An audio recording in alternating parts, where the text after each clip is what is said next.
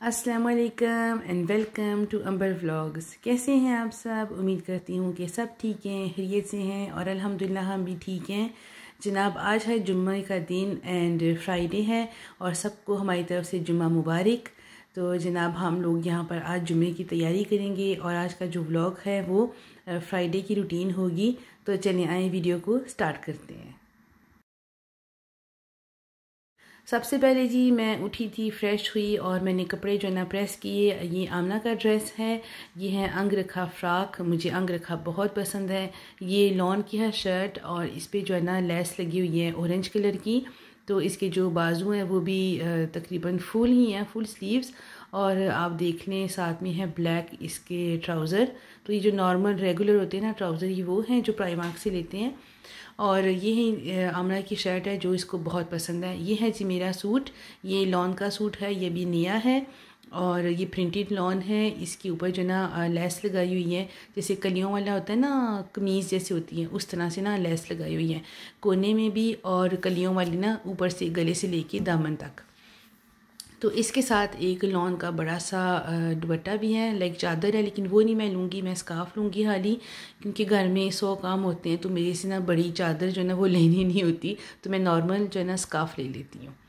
कपड़े वगैरह प्रेस कर लिए थे, उसके बाद मैं आई हूँ किचन में, और यहाँ पर मैं ऑमलेट बना रही हूँ जो नॉर्मल ऑमलेट होता है। सबसे पहले मैंने फ्राई पैन में ऑनियन जो है ना वो फ्राई किए हैं, और दो तीन मिनट के लिए, ज़्यादा नहीं। ऑमलेट बनाने के लिए मैंने तीन अंडे लिए हैं मीडियम साइज़ के। उसमें धनिया ऐड किया है, नमक और लाल मिर्चों का पाउडर ऐड किया है।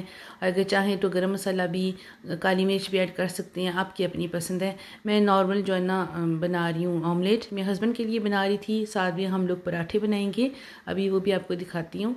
तो यहाँ पर ऑमलेट बन रहा है और बड़े ही मज़े का है। धनिए वाला जो है ना, बड़े मज़े का बनता है। ये मैं मून सलवा का लेकर आई थी आलू पराठा। ये फ्रोज़न पराठे हैं। ये हम लोग बर्मिंगम से लेकर आए थे लास्ट वीक तो ये ना हम लोग पहली दफ़ा लेकर आए हैं आलू वाले पराठे। जो रेगुलर होते हैं ना लच्छा पराठा, वो हम अक्सर लेकर आते हैं। लेकिन ये आलू वाले मैंने ट्राई करने थे, मुझे बहुत पसंद है। आमना को भी बहुत पसंद है। तो मैंने कहा, चलें, ये जो है ना, साथ में बना लेती हूँ अपने लिए और हस्बैंड के लिए मैं रेगुलर जो लच्छा पराठा होता है, वो मैंने बनाना था। और यहाँ पर देखिए, मेरा बिल्कुल भी दिल नहीं था कि मैं ऑयल या बटर ऐड करूँ।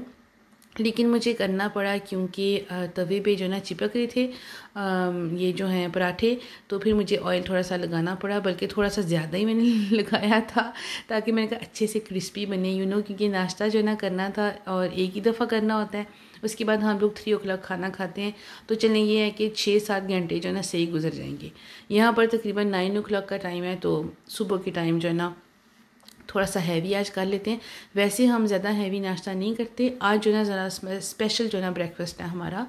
तो काफ़ी ज़्यादा भूख भी लगी हुई थी और सुबह मैंने कहा चले आज मौसम भी क्लाउडी सा है तो चलें पराठे वगैरह खा लेते हैं। वरना जब गर्मी हो ना तो फिर ज़्यादा हम लोग पराठे और हैवी चीज़ें नहीं खाते। तो साथ साथ में ऑमलेट जो ना वो रेडी हो रहा है। साथ साथ में जो ना पराठे बना रही हूँ। दो मैंने बनाए थे आलू वाले पराठे और दो मैंने लच्छा पराठा बनाया था हस्बैंड के लिए ताकि वो ऑमलेट के साथ खा लें। और मैंने नॉर्मली बनाया था, मैंने अपने लिए ऑमलेट नहीं बनाया। मैंने सिर्फ़ आलू वाले पराठे खाने थे। साथ में हमारी चाय थी।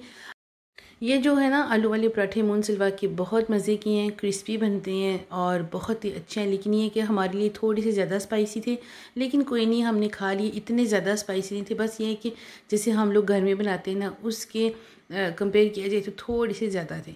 ये हैं जी लच्छा पराठा ये भी मून सिल्वा के हैं, ये हम लोग अक्सर ला के रखते हैं और जब मूड हो, जब एमरजेंसी में कोई हो तो ये हम बना लेते हैं। ये बस समझ लें कि तीन से चार मिनट लगते हैं इनको बनाने में। आपने जो है ना तवा अच्छा सा गर्म करना है प्री हीट करना है और उसके बाद आपने थोड़ा सा बटर लगा लें या ऑयल लगा लें और बस इसको थोड़ा सा बना लें।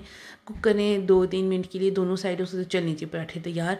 ये है कि जो हम लोग घर में पराठे बनाते हैं, वो ज़रा टाइम ज़्यादा लगता है। और जो है ना, आप कह लें कि मेहनत ज़्यादा करनी पड़ती है। ये ज़रा एमरजेंसी वाला काम है, लेकिन है मज़े के ये भी इनकी। इनके जो है ना मैदे के होते हैं यू नो प्लेन फ्लावर के तो जो लोग खा सकते हैं ऑब्वियसली उनके लिए अच्छे हैं, और वरना तो साथ में दही फिर ले लें। और ये जी, आलू वाला पराठा यहाँ पर तैयार हो रहा है। इसमें जो है ना क्रश रेड चिलीज़ पड़ी हुई थी। ओए होए होए, मैं आपको क्या बताऊँ?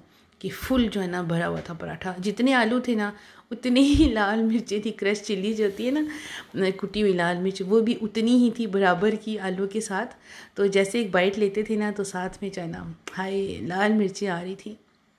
तो हम लोग जो है ना लाल मिर्चें डालते हैं हांडी में, कम ही ज़रा डालते हैं पराठों में भी, पीठी में जो आलू की होती है उसमें भी डालते हैं, लेकिन इतने ज़्यादा नहीं कि लाइक इसमें ना काफ़ी ज़्यादा थी। लेकिन हैं बड़े मज़े के क्योंकि मुझे आलू के पराठे बहुत पसंद आए तो इस वजह से मुझे ना अच्छे लगे हैं, बेशक इसमें मिर्चें थी। ये देखें जी, पराठे और ऑमलेट और चाय सब कुछ रेडी हो गया है।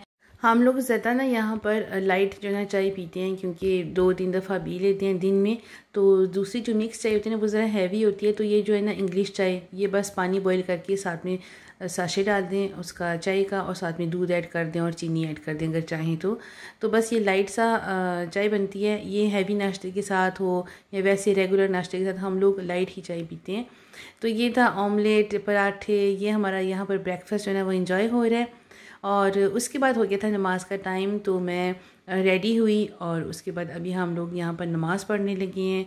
उसके बाद आमना का जो टाइम है वो हो जाएगा। आमना को स्कूल से पिक करने जाएँगे। अभी जनाब हस्बैंड और मैं, हम दोनों आगे थे वॉक करने के लिए। मौसम जो ना, ज़रा क्लाउडी सा था तो सब कुछ घर में खाना वगैरह रेडी था तो हमने सोचा, चलिए आ जाएँ थोड़ा सा ना वॉक कर लेते हैं। तो हम लोगों ने आधा घंटा जो है तकरीबन वॉक की है, और अच्छा था मौसम, ज़्यादा हवा नहीं थी, और हम लोग पानी की बोतल आज भूल गए थे तो इसलिए काफ़ी मुश्किल हुई कि पानी नहीं था तो ये है कि अच्छी वॉक हमने की। अगर रेगुलर बंदा जाए ना तो फिर सही मज़ा आता है क्योंकि आपको इतनी थकन नहीं होती और आप ज़्यादा एक्टिव हो जाते हैं और अब उतने ही टाइम में ज़्यादा डिस्टेंस जो है ना, वो चल लेते हैं। तो अल्हम्दुलिल्लाह से हमने चक्कर लगाया, बड़ा मज़ा आया और काफ़ी लोग थे जो कि वॉक वगैरह कर रहे थे यू नो तो हेलो हाई भी होगी और मौसम देखने बादल छाए हुए हैं। ऐसे लग रहा है जैसे अभी विंटर का दिन है, लेकिन विंटर का दिन नहीं है। ये है कि मौसम अच्छा था, बिल्कुल हवा इतनी ज़्यादा नहीं थी। तो अच्छी कंपनी हो आपके साथ तो आपकी वॉक जो है ना उसका मज़ा डबल हो जाता है। तो जनाब आई होप कि आज का व्लॉग आपको पसंद आया होगा। मेक श्योर कि चैनल को सब्सक्राइब कर लें वीडियो को लाइक और शेयर करना मत भूलिएगा। मुझे और मेरी फैमिली को दुआ में याद रखें, अपना भी बहुत सारा ख्याल रखें। मिलते हैं नेक्स्ट व्लॉग में, तब तक के लिए अल्लाह हाफिज़।